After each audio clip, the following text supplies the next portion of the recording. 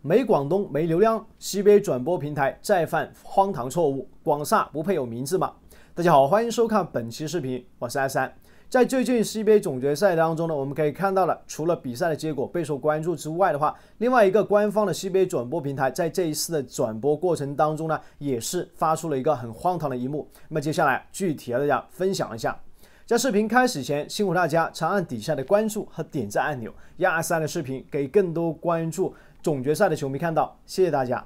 那么最近呢，CBA 总决赛的第一场比赛已经结束，那么最终辽宁队呢是一比零战胜了广厦队，处于领先的一个地位。当然，这场比赛当中，我们可以看到呢，很多球迷一方面呢关注着这场比赛的一个结果，那么另外一方面呢，其实也有注意到，那么这一次作为 CBA 的官方转播平台呢，咪咕体育他们在这一次也同样犯下了一个很荒唐低级的错误，在比赛结束之后啊，遭到很多球迷的诟病和批评。我们可以看到，在这一次呢，辽宁队大比分战胜广厦队之后呢，那么咪咕体育在他们的社交平台当中呢，也是。跟着发布了一条动态，这是令人匪夷所思的事呢。那么他们这一次发布的动态呢，居然把广厦队当成了广东队。那么最终啊，是发布了这么一条文字。那么说呢，大概的意思就是说啊，辽宁队啊在首轮比赛当中呢，战胜了广东男篮，取得开门红。那么这一句话呢，无疑是引起了很大的争议，因为他们呢把广厦队呢当成了广东队，并且呢完全没有提到广厦队的名字，所以呢很多球迷啊也非常的在生气，并且呢吐槽这一次的一个官方转播平台为什么不提广厦队呢？难道是广厦这边啊没不配拥有名字吗？那么另外一方面，为什么说把这一次广东男篮又再一次拿出来说事呢？难道没有了广东队就没有了流量了吗？其实啊，球迷之所以如此生气呢，是因为这一次呢，这个转播平台呢，已经不止一次的话，犯下了类似的荒唐以及这个无语的一个错误。包括在此前呢，我们看到辽宁队大比分战胜广东队之后的话，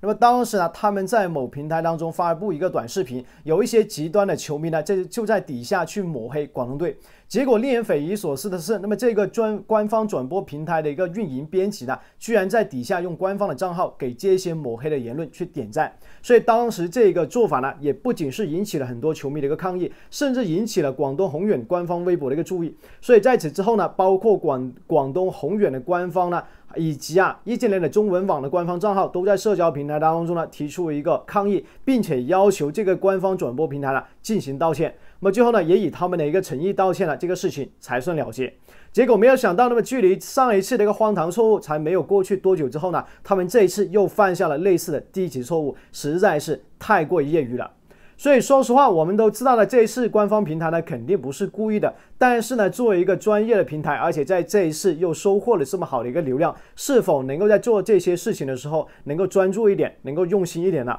毕竟呢，这样的一个专业的平台呢，已经有很多球迷的关注，他们的一举一动呢，也不仅是关乎到他们转播平台的一个声誉，更是关乎到整个 CBA 联盟的一些口碑和专业度。所以希望他们之后啊，不要再拉垮拖后腿了。毕竟这种事情的话，那么可能只是一个小小的错误，但是到头来不断被放大了，可能伤害到的不仅是广厦的球迷，甚至呢，连广东的球迷可能都会非常的生气，那么影响是极度不好的。所以说实话，我们以后啊不想再看到类似的一些业余的举动，希望呢这些官方的转播平台呢能够稍微专注一点，那么把每一场比赛都能够做好，让所有球迷都能够享受总决赛呢带给大家的震撼，充分好好的享受比赛带来的快乐。